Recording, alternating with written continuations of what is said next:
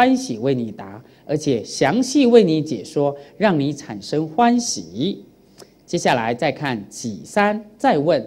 于是地藏菩萨摩诃萨以寄送问曰：“好，古人问寄送有两个意思，有好多意思。其中第一个寄送容易背诵，第二个寄送呢，啊，就是在后来的众生听经。就举个例子，像现在讲经，有些人又很辛苦，没有吃饭，赶着来，八点半才到，他前面没有听到，那师傅讲解，可到最后呢，师傅会用个寄送啊，做一个总结，哎，他听到了寄送。”第三个寄诵啊，所以第一个寄诵是受呃利于背诵，第二个是对于没有听到的人再重复重点一次，第三个呢寄诵呢可以背诵作为禅观用，叫随文入观，所以底下就是古汉文的寄诵，请看，丙一多劫勤苦修持，请看寄诵第二，我成十三劫。以勤修苦行，为一切有情除三灾跟五浊。地藏菩萨就说啊，我在无量劫修行啊，在这个贤劫当中啊，我曾经十三劫修行，我真正为了众生修行呢，修无量的苦行，目的是为解决一切众生的痛苦。所以，因为地藏菩萨多劫无量劫呢，生生是修苦行，所以苦行的功德力增长，所以地藏菩萨的功德力就很大。为了呢除掉三灾、水灾、火灾与风灾这三种五浊恶事，大家很不会陌生，就是《阿弥陀经》讲的劫浊、见浊、烦恼浊、众生浊跟命浊中这五浊。好，对不起，时间有限，我没办法五浊一个一个为你介绍，请看下面第三首：多具之佛所，以设无边供。曾见大集会，清净和合众，啊不，清净众和合，请把无边供画起来，这叫无遮大会。我地藏菩萨多生多劫清净过多具之佛，具之佛就是很多很多，像恒河沙数这样，跟观音菩萨一样，是多千亿佛发大清净愿。那地藏菩萨在这个六道轮回里面无量劫修呢，他也要修布施供养，最大的叫无边供养。无边供养就是印度有一个叫无遮大会，就是在盂兰盆会呢，出家人呢哈结下安居的时候呢，不管修的是圣贤的出家人或凡夫的出家人呢，所有的他都有供养。那这是要很大很大的功德，那这个功德其实是很好的。注意听，这个功德不是做生意，而是以虔诚的心，想要呢广修无量的供养。像佛在世的时候，茉莉夫人一供养都是九十亿印度币。他供养啊佛袈裟，还有僧众钵啊，还有食物啊，还有各种生活啊，他一供养啊就是九十亿印度币。你们可以算一算新币跟印度币这几比几啊？九十亿印度币啊！她是个皇后啊，对不对？所以她非常有福报啊。那这里讲无边供呢，听好，传到中国，其实刚开始是有无遮大会，可是后来中国人呢，嗯，就中国的民族性有中国民族性的做法，最后就变成了什么呢？水陆大法会，而且是有价钱的水陆大法会。我觉得这样就很可惜了啊。师傅没有说水陆大法会没有功德。注意听，注意听，我没这样讲，这边有录音。我现在告诉你，真正的功德是你升起平等心，广施无边的供养，不管是圣贤生、凡夫生，我都供养。不会让供养三宝。注意听，无遮大会还要布施贫穷的人，因为贫穷人也有佛性。就供佛的那天，供三宝的那天，也要做布施贫穷一切的人。举一个例子，一九九六年，梦参老和尚带我们去参。去五台山朝圣，对不起，五台山朝圣，他老人家就很慈悲，就申请五台山有一个叫千僧斋，千僧斋就是五台山哦，寺庙非常多，有些山上在东台、北台、南台，你要很早一个礼拜前通知他啊，是啊，而且呢，三天之前要通知他，有些呢还要走一天的路啊，才下山来接受供养，所有的出家人那你知道吗？你看到出家人就是龙蛇混杂，各式各样的出家人，有些相貌很庄严，有些呢奇奇怪怪的。可是呢，文殊菩萨曾经发愿，《五台山感应录》里面写哈，若有人在五台山供千僧斋，文殊菩萨一定亲自来应供。哇，这是很大的功德。但他化现什么样子，你都不知道。可能化现一个呢臭臭的乞丐，或是一个脏脏人家看不起的出家人。可是他是真正文殊菩萨，他要让你修平等心。所以那一年，我们托梦参老和尚的福报呢，我们就所有的团员六七十位全部出钱啊，打千僧斋，哇，我们的非常的非常欢喜。我相信文殊菩萨有来应供了。所以这个样无边供写在旁边，叫平等的供养。真正的功德是在平等心，上供三宝，下济一切贫苦的众生。贫苦跟病苦的众生，你能够升起这样广大的功德，就算你今天只是布施新币只有两块钱或十块钱，你的功德就是无量无边的功德。我觉得很多国家的莲友有时候都不深入佛法，其实都蛮世俗的，只是呢从世间的角意。角度来看，哎呀，这个法会庄严，那个师傅送的不错，这个寺庙做的不好，我们就不参加。那个道场啊，价钱比较高，这个大场啊比较便宜，来来，我们去那边。其实我觉得这样的分别都是你不太了解佛法。真正的佛法是在你的心量与愿心。我昨天讲了，对不对？今天更有一个莲友问我说：“师傅，曾经有些莲友说，我们初学佛没有那么大功德力，回向不能回太多耶。”你听，这是佛法嘛？这叫相似佛法，谁说不可以的？对不对？你就是因为知道的不是正确的佛法，所以你今天心量就这么小，执着固执这么深，所以你今天就这么苦。真正所有的佛菩萨都是心量广大无边的，对不对？所以希望大家真的。多多深入释迦牟尼佛所教的教法，我们才是一个如理如法的佛弟子啊！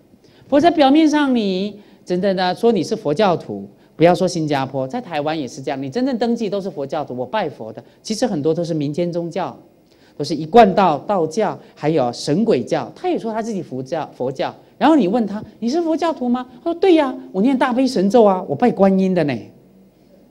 请问念大悲神咒一定是佛教徒吗？不一定的，念大悲神咒当然很好，对不对？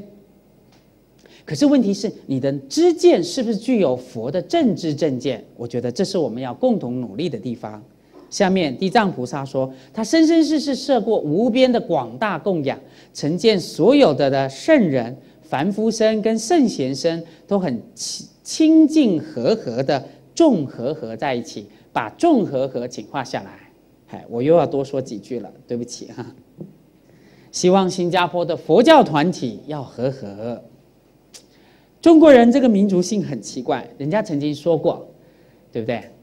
中国人一个人很聪明，对不对？两个人就不聪明。两个人呢，是德国人聪明。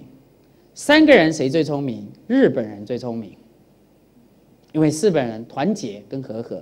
日本的民族性是这样，从小学教育就告诉你要和和。我们中国人呢是这样，哦，别家有开面包店呢，很好，我开一家比他更好的，把他压下去。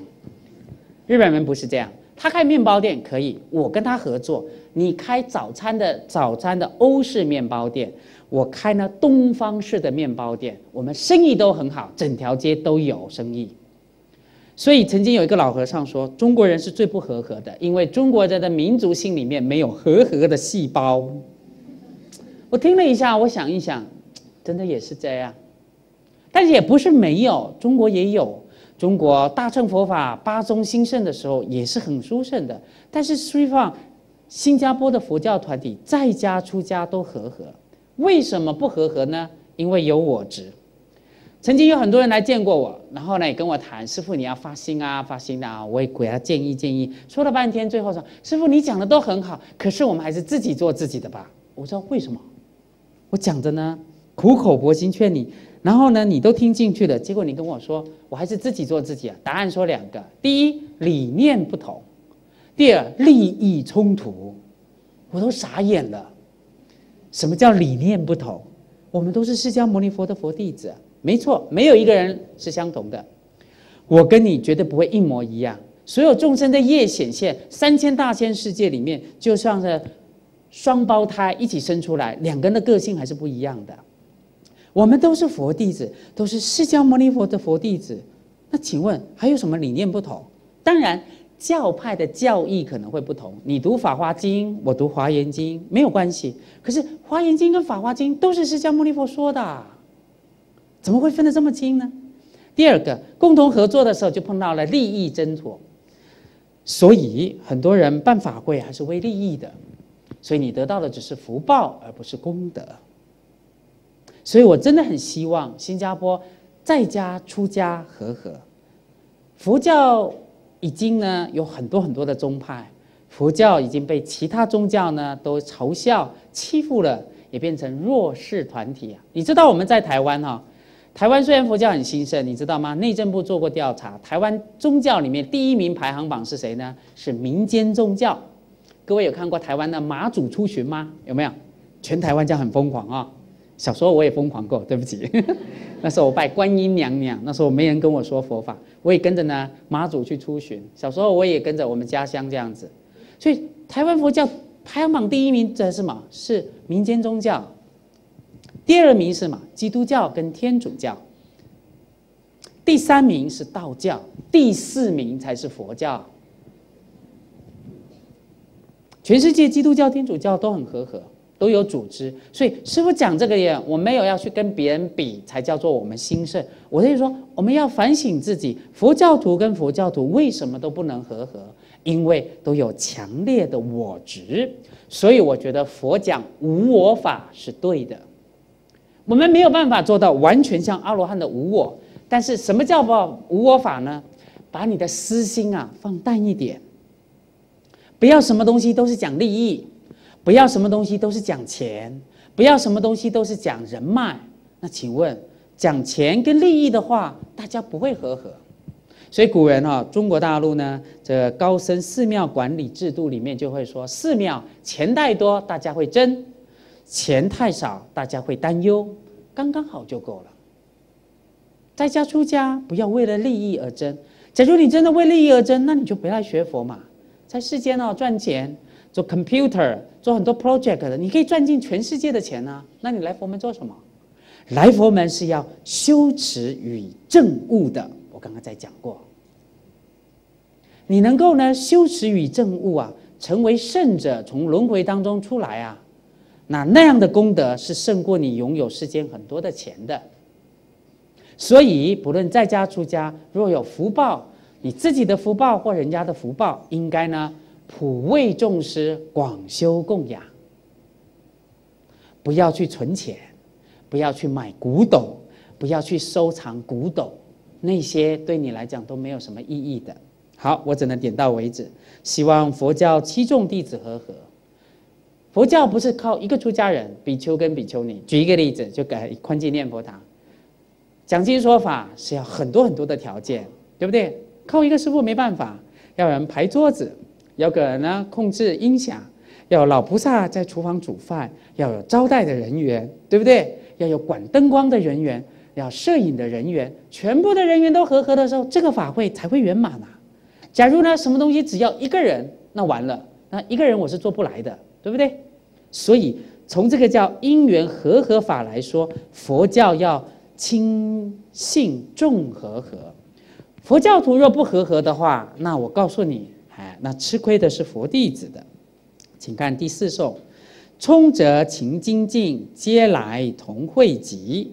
未曾见如是，无诸杂会众。他说啊，我地藏菩萨哈，多生多劫呢。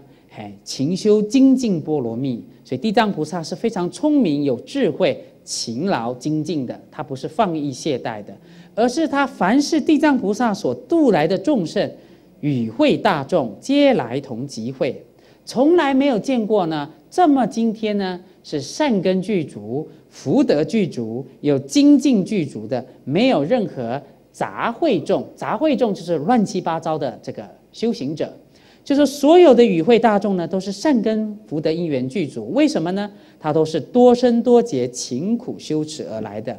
答案呢讲这些的无量众会呢，都是地藏菩萨化身度来的。不管是天上的天人、人间的修行者，或地狱恶鬼畜生的鬼王，或天龙八部，都受过地藏菩萨的恩德。接下来见看丙二，邪见谤法受苦。那地藏菩萨就开始正式请问，请看幻灯片，师傅在 question Q&A，我要把它转成红字。他正式问释迦牟尼佛，第五颂：云何此佛国啊？会恶损尽善，智者皆远离，恶行者同居。好，我先讲这一首颂。他说：为什么释迦牟尼佛五浊恶世的难言菩提众生呢？为什么释迦牟尼佛，你虽然成佛了，可是你视现的这个佛国土啊，众生啊，刚强难化，难调难服，而且呢，心中都很污秽，动不动都造了很多恶业跟恶行，甚至污秽的心跟恶业跟恶行呢，都损害了很多人的清净的心跟善良的本性。他的意思是这样，的确啊，你看这个社会啊，啊，这个社会，老实说，我们讲。继续讲，智者皆远离，有智慧的人呢，都远离了，他不愿意出来为众生做事。古来讲，一个皇帝出世的话，天下的人才就会出现。那当有智慧的人呢，都躲到山里，表示什么？那天下是乱的，他不愿意来奉献。恶行者同居，住在一起的人呢，坏习惯相互影响，结果最后呢，变成大家都一起坏。哎，世俗话有一句话：“天下乌鸦一般黑”，对不对？你有没有看过白乌鸦的？没有吧？对不对？这这是譬喻，这是中国比喻。好，他的意思说，释迦牟尼佛啊，为什么你所居住的佛国土啊，众生啊，都是呢造恶的很多，肮脏污秽的心，贪嗔痴很强，恶行呢非常多，后来损坏了他清净的心跟善良的本性呢？这是第一个问题。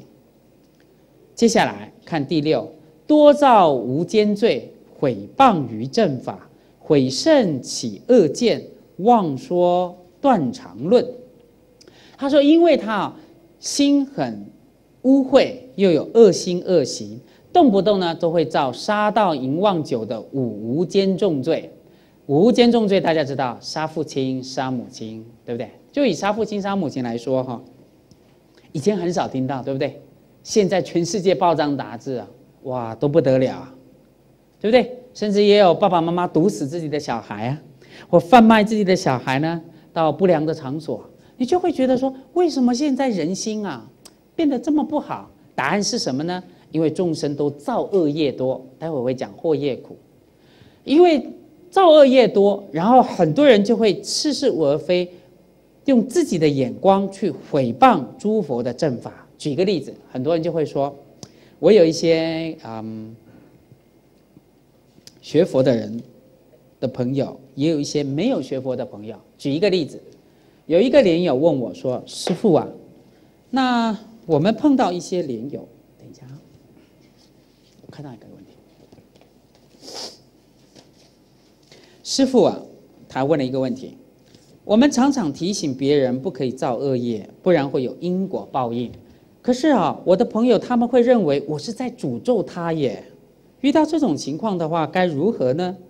答案听好，哎，师傅给你的建议是要改用其他的方法。第一个要有同理心，你动不动呢？你知道这是因果。比如说，举个例子好了，举个例子，注意听，注意听啊，这很重要。你知道杀生不好。可是你不要呢，回到家里呢就脆脆念脆脆念，妈，你就是一再杀，你就会短命啊！你这样的介绍方法不对啊！你讲的是真话，可是你不太会讲话，没什么智慧。你应该换个方式讲，怎么讲呢？妈，你假如是鱼的话，你会被宰吗？你喜欢被人家剁你的身体吗？这样讲就好了，他会想，也就是说。你不要动不动就跟人家讲这是因果报应，没错，佛家讲因果报应，因缘果报是要有善根人才会接受。可是啊，你呢对于一个完全不接受佛教体系、因果报应或六道轮回的人呢，你要用两个方法：一同理心，第二帮助呃三个方法：一同理心，二帮助他的内容应该是他所需要的，第三个要有耐性。这是我给你的建议。这个连有问题问的很好，待会我会讲个故事给你听，我朋友的。所以你不，你看到他现在钓鱼了，他很开心啊，跟朋友去。新加坡海边钓鱼，他很开心啊，他觉得他没有做坏事啊，他心很好啊，对不对？尤其是基督徒、天主教徒啊，钓鱼没坏啊，对不对？那可是你的角度会觉得他不太好，那你怎么办？你要跟他讲：哎呀，好朋友啊，假如你是鱼的话，你会被钓吗？或是假如你是鱼的话，你有什么想法？假如你是鱼的话，你愿意被人家抓吗？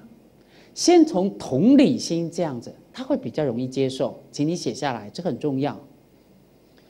第二个，你要想他现在要去钓鱼，其实他要帮助的是什么？他要朋友的是关心。你可以关心他，但可换个方式。或许你会说：“哎呀，好久不见，你想去钓鱼，你是不是孤单呢？”那这样，今天我有空，我陪你好吗？我们不要去钓鱼好了，走吧，我们去 shopping mall 去吃吃饭。然后带我们去看红衣大师一轮明月的电影如何啊？我陪你啊。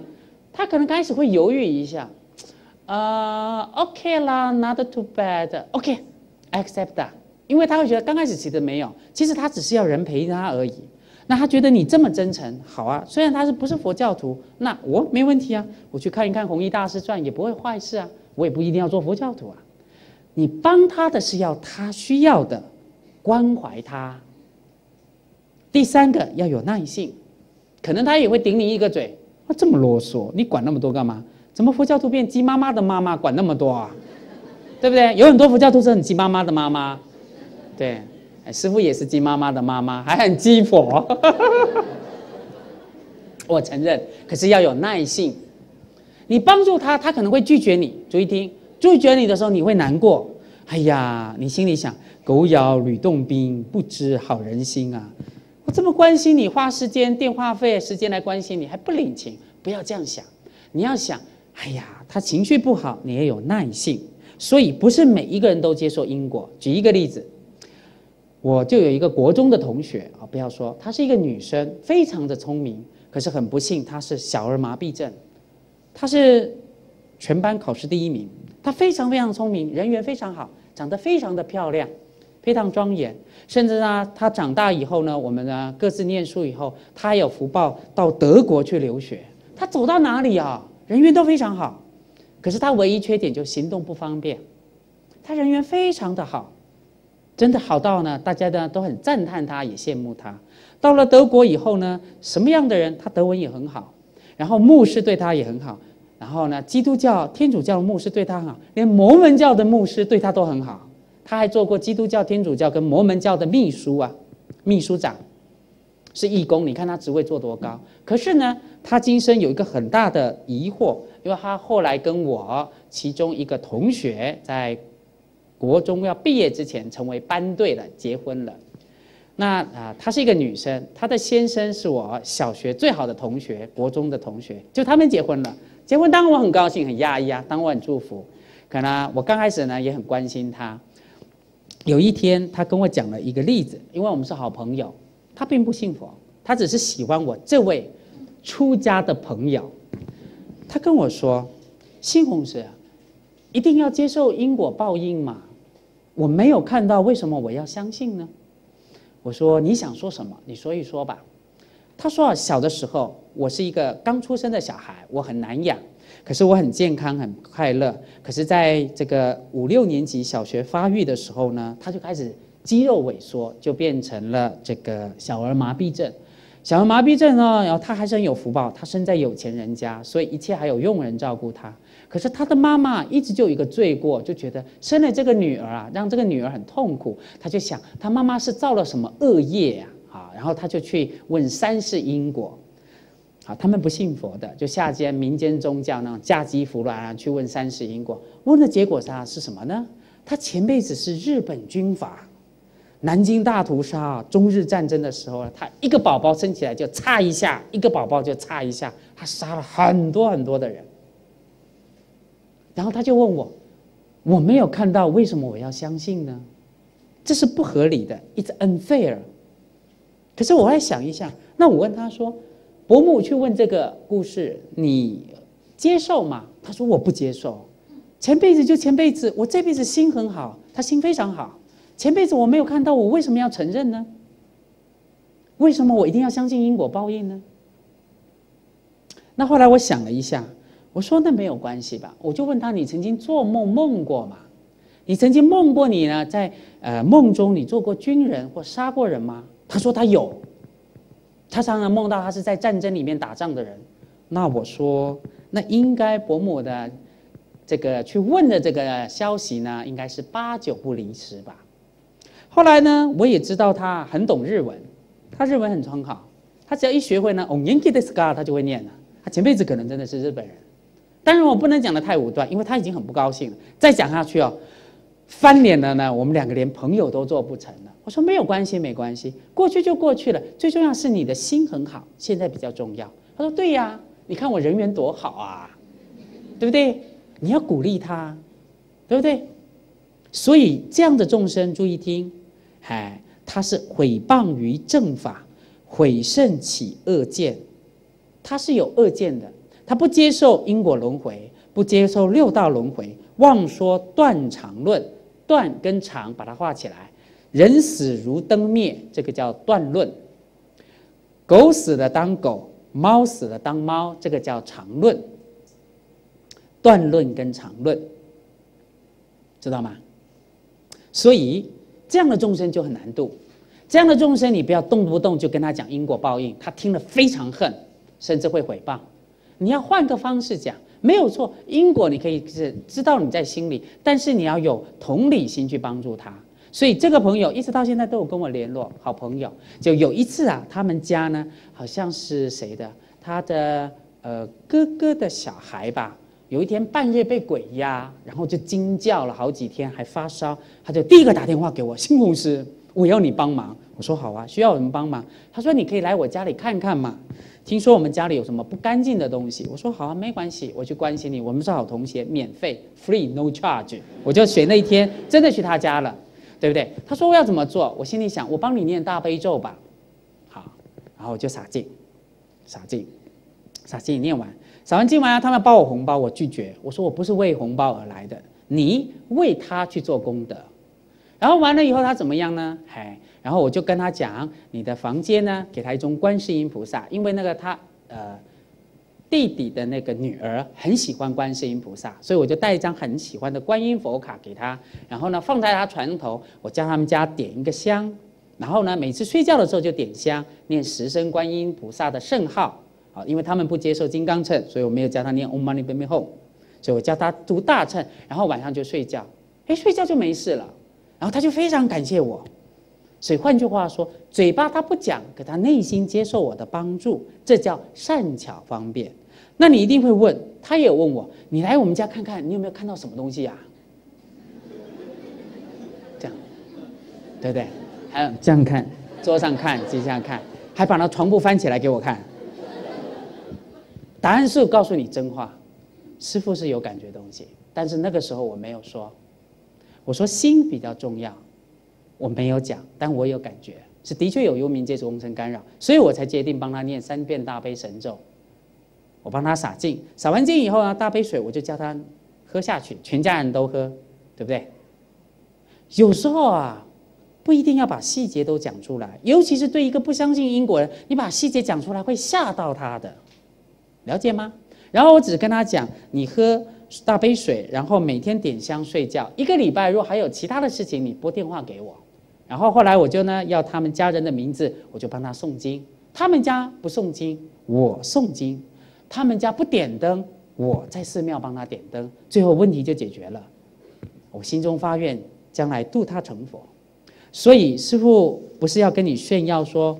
我修得很好，只是告诉你说，从佛法我体会到一些经验。你在帮助别人的时候啊，尤其面对毁谤因果报应的人，你不要去强迫他，各位老菩萨，尤其是女居士，或许你坐在这边很有福报，你的先生没有来学佛，他成就你，你不要动不动呢回去呢，哎，你就要劝他学佛。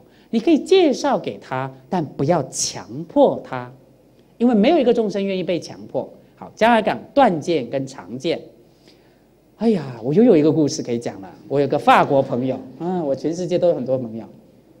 断剑就是人死如灯灭，什么都没有。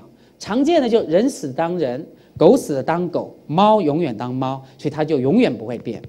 我在澳洲留学的时候，我们是一个室友，六个人住一间，三个男的，三个女的分开，个人有个人的间，学校宿舍这样。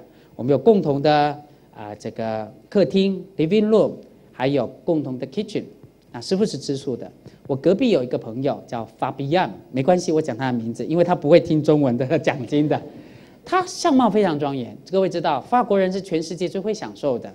他相貌非常的好，然后呢，长得也很帅，也 handsome，啊，little bit sexy 这样子。然后呢，可是呢，他就很好奇，他对佛法是不太相信。他告诉我，我刚刚做朋友的时候就是做朋友而已。然后我问他说：“你相信宗教吗？”他说他是从基督教跟天主教的教会学校毕业的。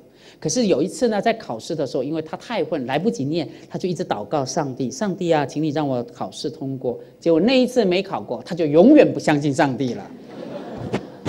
我就跟他讲：“No comment，不予置评。”我说：“你相信宗教怎么会这样？”然后他就说：“他也不相信佛教。”那我问他为什么？我就反问了一个问题：问他：“你觉得你死了以后要去哪里？”他说：“死了就死了，没有啦。”死了以后就进入大地啊，泥土啊，什么都没有了，你还去问去哪里？我说你为什么会这样想？他说本来就是这样啊。那我就反问他，你从哪里来的呢？他说从我妈妈的肚子蹦出来的。啊。那我就再问他，你在妈妈还没有出来之前，你从哪里来呢？他说这个不重要，我不知道，我也不想要去想。有些人就是这样，了解吗？然后呢，我就跟他说：“你这辈子是很有福报，为什么？从佛教的角度来讲，他真的相貌非常庄严，身体也很健康。为什么呢？因为他们家哈，他爸爸是救火员，他的公公救火员，他历代家人都是 fireman 救火员，所以在法国若发生火灾的时候，他就出动了，都是去救人的。他非常勇敢，他一生救过很多人。”他还跟我讲过很多精彩的故事。我说，就是因为你救过人，不管你相信不相信，所以你的身体很健康，你的福报很好，所以你一切很幸运。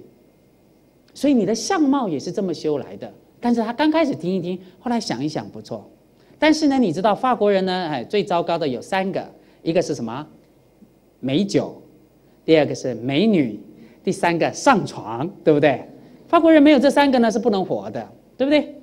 他有一次还跟我讲，他说啊，他叫我的英文名字，然后 Harrison，Harrison，要因为我带着女朋友来的话，在你隔壁吧，那你不会介意吧？我说不要太大声，吵到我睡觉就可以了。外国人就是这样嘛，因为外国人的想法就是享乐主义，来生命就是享受。甚至他有一次问我，Harrison，你不吃肉又不吃鱼，对，又是 vegetarian，每天又打坐又诵经，你的生命会不会很无聊啊？我说不会啊，我很有聊啊，我跟你很有聊啊，每天不是聊了很多吗？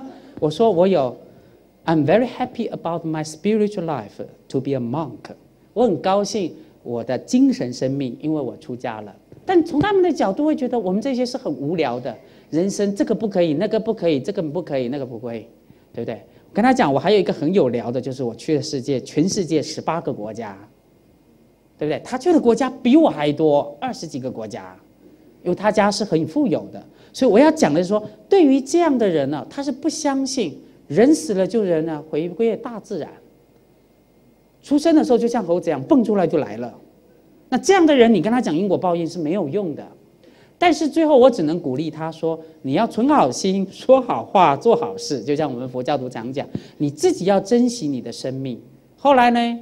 哎，十多年没联络，最近联络到了。对，他在法国了，找到一个很好工作，他结婚了，有两个宝宝了，我非常祝福他。所以注意听，众生无边誓愿度，最重要你要先跟他结善缘，做朋友的缘，然后要有同理心，还有关心他的、帮助他的，应该是要他所需要的。最后要有耐性。等你发愿成佛的时候，你就会像释迦牟尼佛有神通一样，有智慧跟功德，你不怕渡不了他，不要急，但是也永远不要放弃。我所以，我全世界有很多朋友，我走到圣地，不管是佛教徒、非佛教徒、基督教、天主教，或是呃 religious or non-religious，就信宗教或不信宗教的呢，我都会帮他点灯。这样子发愿，愿度一切众生皆成佛，现身。或许我没办法向他鼓励他们，像各位在座莲有这样精进学佛，有诵经，有上佛学班，有做功德。可是慢慢来。我相信有一天他跟佛法一定会有缘，因为他已经跟我讲他不相信基督教跟天主教了，所以我相信我将来还有机会帮帮他，并不是说一定要拉他做佛教徒。好，所以众生是常常有很多断见跟常见的。接下来再看第七颂：具造十二业，不为后世苦。翻过来，多远离三乘。臭秽向恶去，无名闭其目，贪疾多尖角啊角对，请看第七颂，就说有些众生呢，他生下来呢，就是生性很恶劣。刚才我们讲，他动不动就喜欢造杀盗淫妄酒的十恶业，而且他不怕后世苦。的确，我遇到一些台湾的青少年，有时候啊，他对啊啊。出家人呢，有些会很恭敬，有些没有善根的呢，也会很不客气。而且呢，台湾呢也有一个句话：看到和和尚头光光，一切输光光。好奇怪哦，怎么会有这样的想法？对不对？这就是民间宗教，对不对？看到头上头和尚头光光，一切输光光。所以赌博那一天，他们都不去庙的，因为他怕输光光。其实根本没有关系嘛。各位想一想，和尚跟赌博有关系吗？They are not connected，他们没有连结，但是在中国的这个话里面呢，你看看念起来就很顺，对不对？对不对？所以我觉得下次应该改一改，对不对？换一个，看到和尚头光光，一切所求皆如愿才对呀，是不是？好，那这样的众生呢，他不为后世苦。注意听，很多年轻人是天不怕地不怕的。有一次我碰到年轻人飙车，我跟他说：“你这样很危险啊，小心啊！”他说：“怕什么？二十年以后我又是一条好汉。”我说：“错了，深呼吸。我告诉你答案：二十年以后你是一条毛毛虫啊！”他吓一跳，师傅为什么？我就讲六道轮回故事给他听。因为现在年轻人是不相信因果的。为什么不相信因果？注意听，因为他不接受你的惩罚。注意听，我再讲一遍：佛教讲地藏法门或大正法门，佛教没有惩罚思想，没有一个佛菩萨会惩罚你的。你今天受苦的是自作自受，这是佛教最伟大的地方。跟其他宗教，其他宗教有持家存在的价值跟意义哈，师父没有批评。可是呢，佛教最伟大的地方是要告诉你自作自受。可是年轻人呢，在不能。假如你用不是很用善巧的方式去帮助他，你不是用很有智慧的方法帮助你的家人，其实你越要家人接受因果报应的时候，他是越反弹的。为什么？我问过他，他说：“我干嘛要信你那个系统啊？我不相信就对了嘛，哪有什么因果报应？我还是好好的啊，知道吗？所以因果报应是让人家觉悟的一个真理，而不是不要压住你或是套住你的一个枷锁，不是。”举个例子，你杀生，常常杀生，你就多病跟短命嘛。所以佛告诉你不要杀生。当你受不杀生戒的时候，不是说，嗯，我心不甘情不愿。你善男子善女人，能不能不杀生？佛很不愿意讲，yes。你好像是心不甘情不愿被强迫去受戒的，受戒不是这样。受戒是你经过思维想，啊。我就是因为病痛很多，生生世世杀生，所以我现在在佛前面发愿，对佛菩萨做一个承诺，希望佛菩萨加持我，也鼓励我，我也自己对我自己一个承诺，从此我永远不伤害众生，这样子他就会欢喜去受一个持不杀生戒。那你说持不邪淫戒，现代人最难办，真的烦恼很炽盛，对不对？年轻人也很难，为什么？都喜欢劈腿、搞外遇。我甚至看过一次啊啊！换各位深呼吸。我最近看到无意中讲到社会现象，有些杂志写这个时代没有一个男人不劈腿，没有一个女人不外遇。哇，师傅都吓死了，我的心脏真的不太好。可见现代人呢，完全都不相信，他认为劈腿跟外遇啊是流行，是正常的。那我问你，对不起哈，各位女众不要介意，一个老婆都很难搞，三个老婆你能搞定吗？一个老公都很难服侍，你有三个老公，你能伺候得好吗？你一定累死的。所以变成现代人的想法不一样，所以叫邪见而造很多恶业。接下来呢，你就会发现，他生出来的娃娃也不太健康，病痛也很多，麻烦也很多，对不对？未婚妈妈一堆，对不对？弃婴一堆，这就会产生自己很苦，社会问题也很苦。所以注意听，戒律不是释迦牟尼佛控制你，戒律是释迦牟尼佛从轮回里面觉悟到，你今天为什么那么苦？就是因为你不能够把持自己的行为，伤害自己，也伤害了一切的众生。所以很多新加坡的莲友都很喜欢印堕胎的经典来做忏悔业障。为什么？可能新加坡榴莲吃太多了吧？是不是？你要控制自己的烦恼，知道吗？你宁愿不要做第三者，否则你有这样的困难，当然你来。见师傅，师傅也是会鼓励你。我觉得我永远不会放弃，会鼓励你。你只要忏悔，可以精进。可是你会发现，周遭的人呐，都会习以为常，而且会炫耀你，甚至会侮辱你，觉得你这个人呢没有种，没有勇气。不要这样，因为为什么呢？人家要堕地狱啊，你不要堕地狱。人家不想出轮回，我想出轮回。人家不想去修行，不想去极乐世界。我想去西方极乐世界，所以你要坚持自己的品德与行为，这个才是戒律本来的意思。接下来再看，多远离三乘，远离三乘的教法，声闻缘觉菩萨乘的教法。你真正劝他，他不相信，臭秽向恶趣，他的身心呢都非常的污秽，总是喜欢黑暗的世界，最后就投胎到三恶道。为什么呢？因为无名啊，盖住了他的眼睛，他心中充满了贪嗔、嫉妒，而且多奸狡。奸就是指男女不正当的行为，外遇；狡呢，就是呢，还特别呢，说自己没有错，来狡辩自己，来装饰自己。释迦牟尼啊，地藏菩萨就问世尊：世尊啊，为什么现在的众生会是这样呢？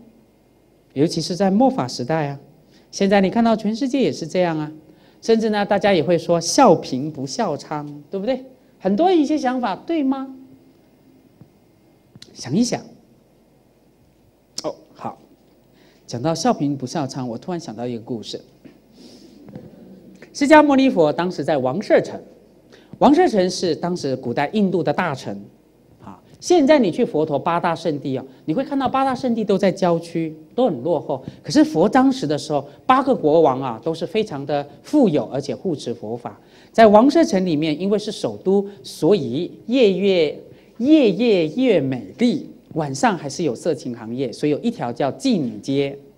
突然呢，有一个叫做优波梨花的女生，她不但长得很漂亮，是妓女，而且还。找了一群的女生来专门做色情行业，然后呢，嘿，他非常有富有，然后呢，他非常有权势，权势也呢跟很多的王公贵族跟很商人都很多的很好友谊，可是他心中啊很孤单，他就是找不到一个好老公。然后呢，他听说佛陀住在王舍城，他说佛陀是一个智者，而且过佛陀会看过去、现在、未来的三世因果，他就想。那我一定要去见佛陀，所以因为他是做不好行业的嘛，色情行业，可是他很有钱啊，然后他就带了很多美女啊，然后呢带了很大的供养去见佛陀。那你想释迦牟尼佛见他吗？佛见他，佛知道他得度的因缘到了，他就来。善女人，请来。来了以后，他顶礼了佛陀，他说：“佛陀，我他看到佛，哇，全世界我没有见过这么帅的男人呢。”就这样，然后佛就眨眨眼，这样子。佛陀跟他说：“你来找我有什么事吗？”他说：“佛，你太庄严了，你比我看过所有的男人都庄严。”佛就跟他讲：“庄严是从清净身而清净心而升起的，庄严不是像你想象从染污心会得到的。”你看佛讲话很有智慧啊。然后接下来他就问佛陀啊：“我拥有所有的财富，我也做什么行业？你知道？但是我很苦恼，我就是没有好老公。然后我也想得到解脱。佛陀啊，听说你大慈大悲啊，你可不可以为我说佛法？”佛陀这时就放光为他说法，告诉他：“善女子啊，财富跟美色只会诱惑众生，虽然能够暂时的得到快乐，但是心灵是会越来越染污的。”得到了一次呢，一步错呢，就步步会错。你虽然现在得到权势、财富，而且你也带了很多眷属来，可是你不会永远拥有它的。有一天你也会老，而且佛还跟你讲，你会变成黄脸婆，对不对？越老是越丑。请问你那时候不是孤单吗？你拥有的东西，你真的能够永远的得到吗？这时候佛说法像剑一样，一刺刺到他心里，他真的是感动了，他就哭了。他说：“佛陀没有错。我虽然长得很漂亮，我拥有权势，我有很多为我做事，可是我心中真的很孤单跟寂寞。最后，他就在佛前放声大哭，作为佛弟子，然后就跟佛说学佛法。最后，他也很有福报，把自己的这个不净之财啊，就供养佛陀。那佛陀还是接受，佛陀念佛念咒加持他，不净之财变成清净之财，就护持僧团，也让他学习佛法。最后呢，这位呢。”女众，对，做妓女的头的嘛，啊，他很喜欢佛陀，为什么？因为佛陀太帅了，所以他每天都很喜欢去看佛陀。那佛陀刚开始就跟他讲，然后慢慢呢，佛就为他讲四圣地，八呃，先讲八正道，讲四圣地，后来佛为他讲十二因缘，最后佛为他讲不净观，他就认真修行，最后呢，是一个在家女居士，正出果须陀洹，很棒吧？所以你有朋友又做色情行业的，请讲这个故事给他听。佛陀永远不会歧视任何一个众生。我常常说，佛陀呢用贪嗔痴三种人比，贪是用妓女，莲花色比丘尼就出家了，证阿罗汉果；嗔呢，对不对？就是猎人杀生；痴呢是小偷。好，有时候嗔呢，佛也会举渔夫或猎人。就是都是杀，所以这贪嗔痴这三个是人类众生欲望是最出众的，也有这三种的行业，而且从古至今呢，这三种行业从来都没有消失过，对不对？有人类就有这样的欲望，就有这样子的行业嘛，对不对？所以遇到这样的众生，你不要舍弃他，你反而要怜悯他，但是小心。假如你太帅跟太美丽的话，还是保持距离以测安全吧，因为你还不是佛陀。你不要说我要度他度他，最后你就被他渡走了，那就阿弥陀佛了。好，请看下面，丙三破烦恼转法轮。第八颂：云何转佛轮，度此众生类？我如何在这五浊恶世里面大转无上的法轮，为所有不同的众生宣说不同的教法，度这些众生？什么叫度众生呢？让这些众生能够离苦得乐。接下来，云何破相续如金刚烦恼？破相续，相续是指你的心念像河水一样。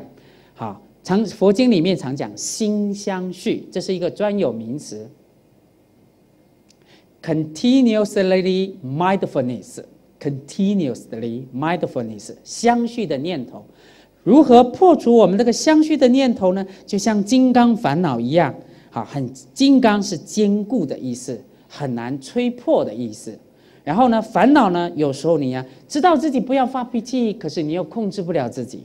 你只要这告诉自己不要贪，不要计较，可是你还是动不动就斤斤计较。你告诉人家不要吃醋，不要嫉妒，可是看到美的东西都会吃醋跟嫉妒，对不对？人人都会比的。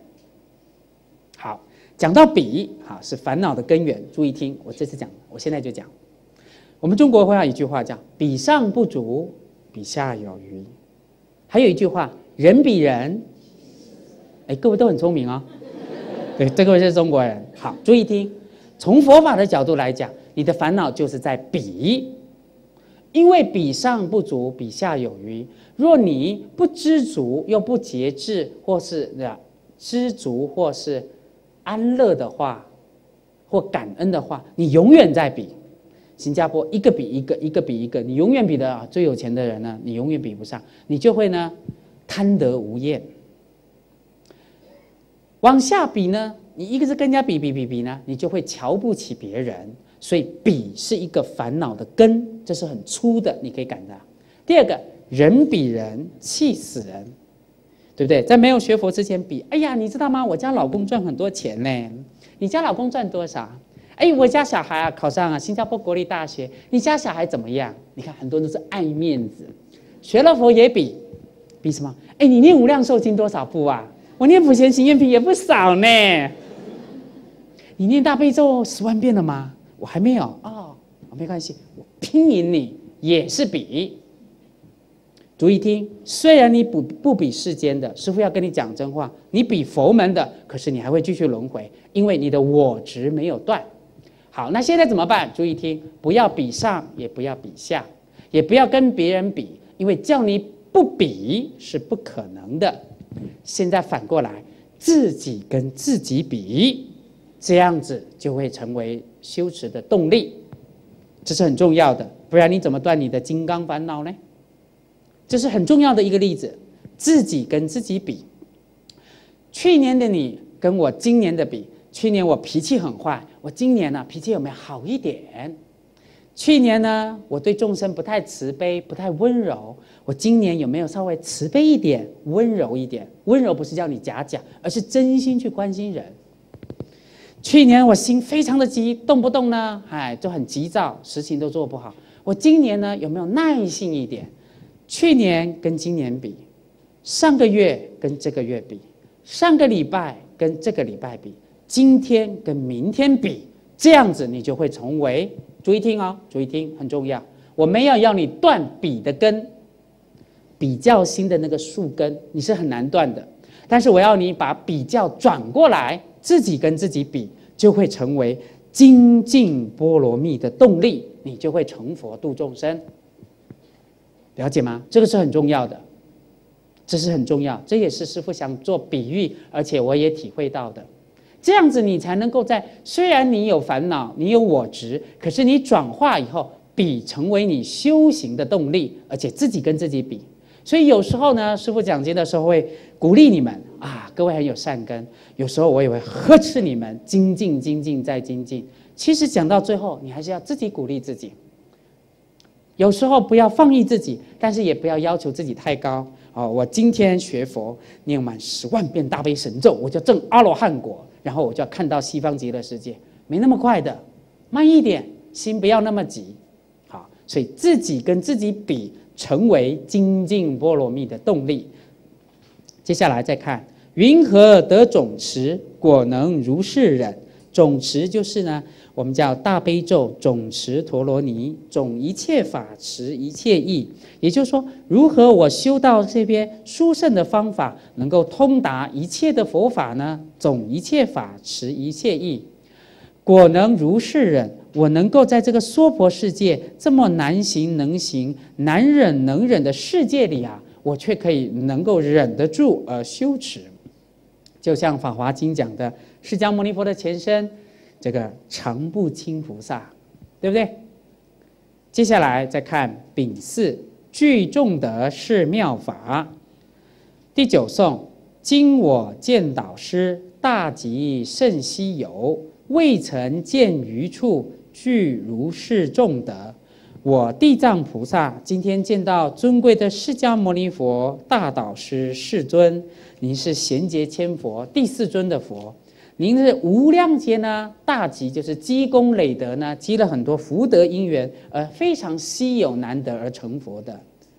我从来都没有看到其他的人呢，在其他的地方可以看到他像您有这么样这么多清净庄严的功德。再看第十颂。具度多功德，勤修菩提道，云何处于众，能开示佛轮？既然释迦牟尼佛你是具多生多劫多各种无量无边功德的，你是很精进不放逸。不懈怠勤修菩提道的，那请问您这样的有智慧的人，在这么苦的世界，你如何为这些芸芸的众生？我们常说的一句话叫“凡夫俗子”啊，愚痴的芸芸众生，开示呢这么殊胜微妙的甚深佛法，那一定很难很难吧？所以你看看地藏菩萨问了多少个问号，很多个问号。接下来释迦牟尼佛就针对一个一个开始答。第一个问号就云何此佛国尽会损尽呃为恶损尽善，在第十九页第十九行，第一个问号，